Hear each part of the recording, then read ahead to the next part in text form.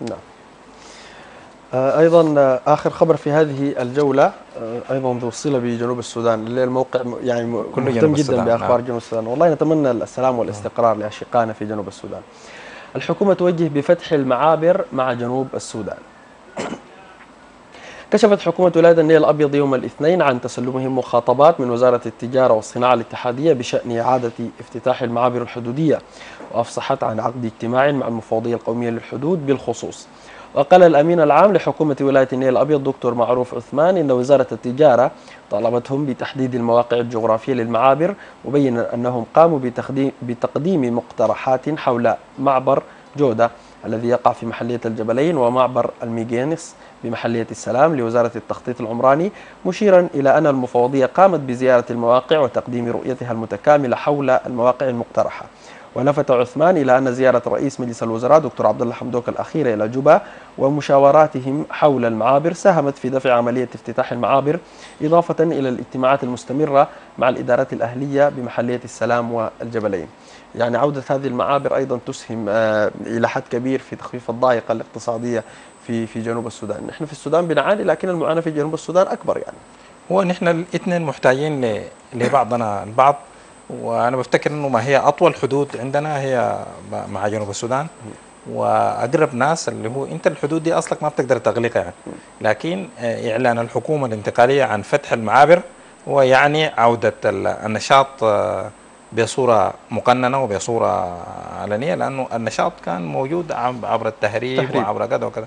وعودة مصالح الدولة أيضا يعني مصالحها وحفظ الأمن على الحدود وفي وجني الضرائب والجمارك وغيرها وأيضا فتح علاقة اقتصادية لبعض الناس اللي عندهم سلع سواء كان في الجنوب دارين يبيعوها في السودان أو في الشمال دارين يبيعوها في في الجنوب. فانا بفتكر إن يعني دي دي خطوة كويسة المفروض تمشي تزامنا مع إنه ترسيم الحدود لبعض بعض الاختلافات الموجودة على على الأرض. وكويس إنه الخبر أخذ يعني جاب أنه أخذوا معاون الإدارات الأهلية في, الإدارات الأهلية. في المنطقة. وده مربوط بالسلام التقنين السلام الجاري في البلدين يعني سواء كان في السودان يعني كل هذه الملفات في العلاقات الثنائية بين السودان وجنوب السودان أين ملف النفط في هذه الملفات؟ ملف النفط هو كان سبق نقاشه مع ناس جنوب السودان كانوا حكومة جنوب السودان كانت جات هنا الخرطوم. وطلبت إرجاء كان أصلا جنوب جنوب السودان بيمرر نفطه عبر عبر أنابيب وفقا لاتفاق محدد وكان بيدفعها بال بال بالأقساط. معاها في تعويض كان أصلا يتعامل بعد توقيع السلام.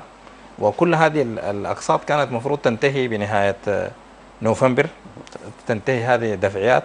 فطلبت حكومة الجنوب ارجاءها وفي نفس الوقت كانت حكومة الجنوب طلبت من المهنيين والمهندسين السودانيين اللي أصلا كانوا ساهموا في إنشاء. هذا البتاع رجعوا إلى إعادة الحقول مرة إعادة بعض الحقول للعمل. وكذا لأنه حتى العالم كان في فترة من الفترات بيفتكر إنه البترول يتأخر شوية حتى لا لا يصب في في يفترض عائدات البترول. النفط تصب في التنمية. نتمنى إنه النفط الجنوب السودان هو الآن حتى الآن متدفق يعني. يكون علاقة يعني ثنائية بين بين الدولتين. بين الدولتين يعني. أستاذ الشيخ يوسف رئيس تحرير موقع الشروق دوت نت. شكرا جزيلا لحضورك لكل ما في كتر خيرك شكرا جزيلا لك. يا احمد الله يبارك فيك